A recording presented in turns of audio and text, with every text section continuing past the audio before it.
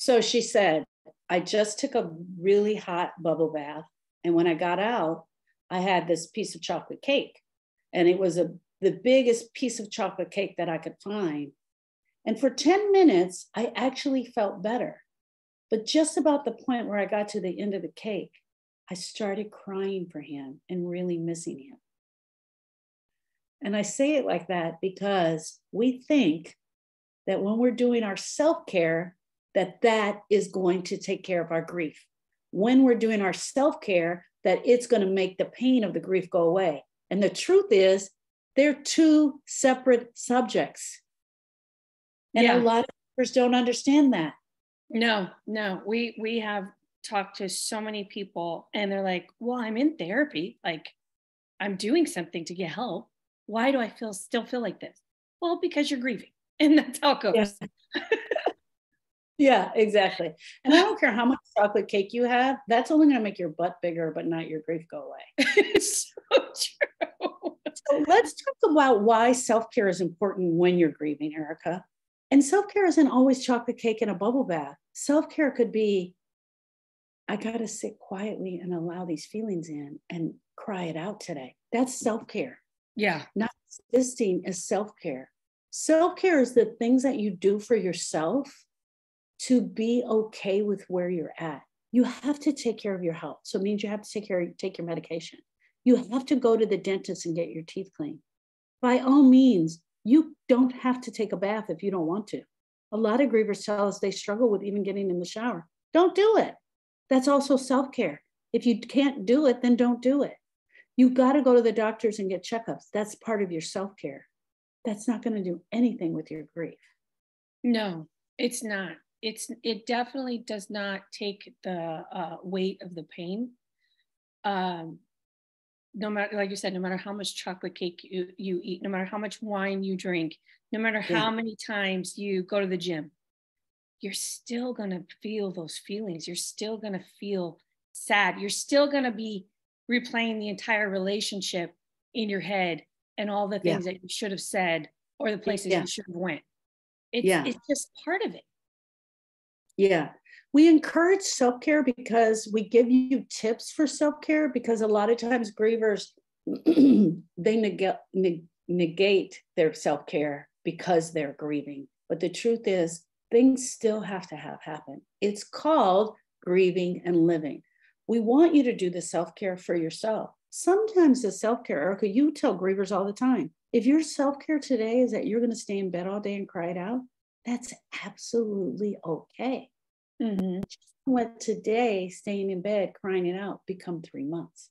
Yeah. I had I remember had I had someone uh they sent me an email like just sharing their condolences after Donovan died and they were like, you know, if it gets too unbearable, like go outside and take a walk. And I was like, what?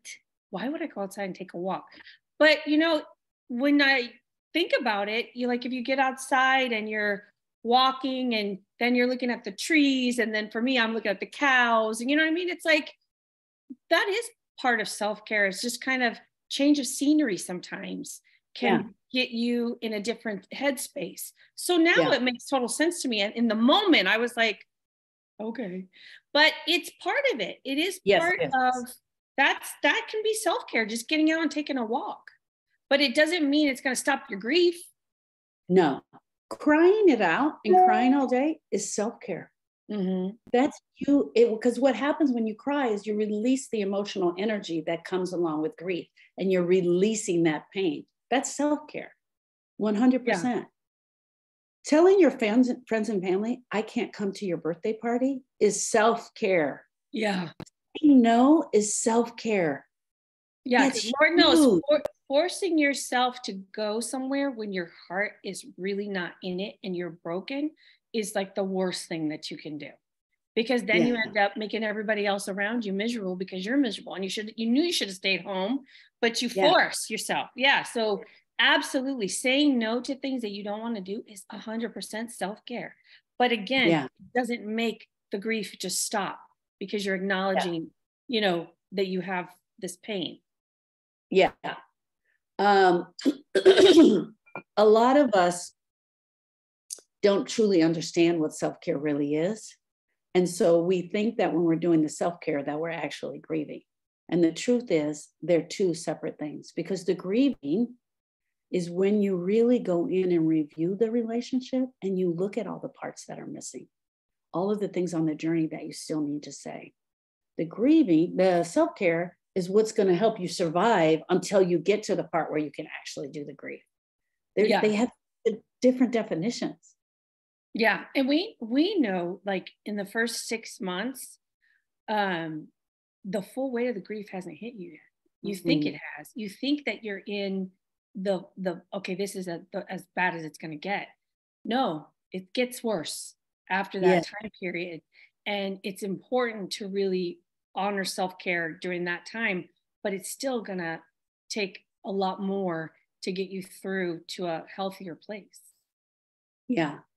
Um, a lot of times we'll meet um, grievers and they think that they're and i may have said this already but they think that all the self-care they've done equals healing. Yeah. It equals the healing. And you're and we're like no girl that was chocolate cake. You know um, even like going on a trip right? So a lot of times we'll get a lot of grievers that just want to go. They want to run. They want to go away from where they're at. You did a little bit of that. I did a lot of that. I did a lot of that after donovan. I tried to trick myself into thinking that if i got like a legit change of scenery like if i'm not in my house i wouldn't feel the pain. You absolutely feel the pain. You feel it in your house, you feel it in the Airbnb, you feel it in the VRBO, you feel it in the car. What what is your saying? You always say, uh, wherever you go, there you are. Like you're yeah. taking it with you, so you can't yeah. just you know change your location and think that your grief is going to stay where you left it. So the second Thanksgiving after Donovan died, you decided to go to the um, hunting camp. What do you call that? Mm-hmm. The deer lease. the deer lease with Lewis. You decided to go the deer lease with Lewis because you were like, I can't be here for Thanksgiving. When you made the decision to go to the deer lease, that was your self care. Mm-hmm. That was you going, I can't be home for Thanksgiving without Donovan here. I'm going to go to the deer lease. That was self care. That wasn't grieving. Yeah. No, that was definitely self care because at least I was with him and Jordan because he Jordan hunts as well. So they would leave and I would be here by myself. And it was like, that was miserable. I don't want to do that anymore. So at least yeah. I'm with them and they're holding my space. And we actually had sandwiches on Thanksgiving because I had no desire to cook or yeah. do anything like that that made it feel like a holiday. And um, it was like uh, white knuckling it through, I guess, kind of.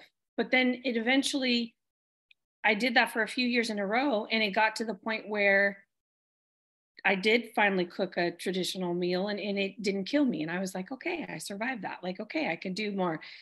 It's slowly but surely. Well, I just wrote down the word sandwiches because you the fact that you made sandwiches was self-care. Yeah. That part was the self-care. This is the self-preservation. This is what I can handle today. I can make yes. look, make sandwiches. Y'all want peanut butter or jelly? You know what I mean? or a combo. right, exactly. Or you can get the combo. um, that was totally self-care. And that is what that was all that you could manage to do yeah. that day. And if that's all you can manage to do that day, my friends, that is okay. Tell me, correlate this self care of making the sandwiches to what grieving would look like. What would the actual grieving look like that day? What did it look like that day? What would it have? What would it look like that day? So I made the sandwiches. That was my self care. What did grieving look like? Sitting in front of the TV, zoning out, just trying to lose myself in something other than my reality, and that's that's what it was looking like. Yeah, and also um, grieving of that day didn't necessarily have to come with tears. It could be just that sitting there, just thinking, staring far off, just thinking of Donovan. Mm-hmm. have been your which I did as well. Because in the evenings, the sunsets, uh, the deer leases in South Texas, the sunsets are so beautiful and so amazing. And I spent a lot of time outside taking pictures of them and just like feeling the full weight of it in my heart because you're looking at something so beautiful and the one person I wanted to share that with was not here. Yeah. So it was a lot of that. A lot of grieving and self care. What we really want to talk to you guys about is really just not conflating the two and mixing them up. Self care is extremely important for the griever, 100%. Number two, grieving is even more important.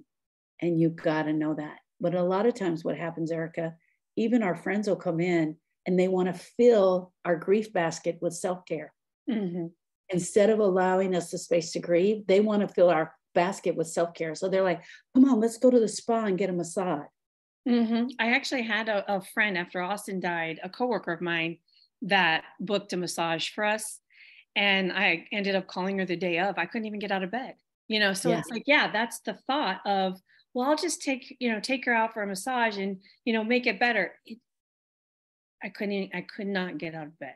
The thought yeah. of showing up at the spa was so undesirable. Like it was like she wanted to take me to a garbage dump. You know what I mean? Yeah, exactly. when your heart's broken, that's what it feels like. Yeah, exactly. So when you're the person that's trying to help your friend through uh, the loss, ask them if they think they would like to do that because most of what we can give them is going to be the self care. The grieving has to be done by you, the griever, 100%. 100% it has to be done by you, the griever. They might not be able to handle it. And we may think we have the best idea hey girl would you like to go to the nail spa and let's you know get some foot massages? They may want to do that. Mm-hmm. and then again on the other hand they may not be able to handle it. And don't be offended if they can't handle it. Be okay right. with it. Exactly. Exactly. Because that's what they need. They need that yeah. kind of unwavering support no matter what the situation. Do your self-care. You're gonna need it to survive. Absolutely do your self-care. But more importantly allow the grief to be there. It's okay yeah, 100%. I promise you won't die from the grief being there. No. Like if you want more tips like this, we would love to have you in our Facebook group. That's where we are hanging out every day. And we're just giving you tips on how to survive the pain. Thank you, my friends. Bye, friends.